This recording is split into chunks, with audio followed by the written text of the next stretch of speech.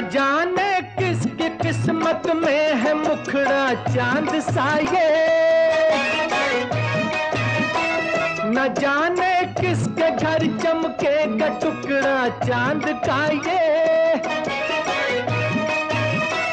न जाने किसके घर चमके का टुकड़ा चाँद का ये।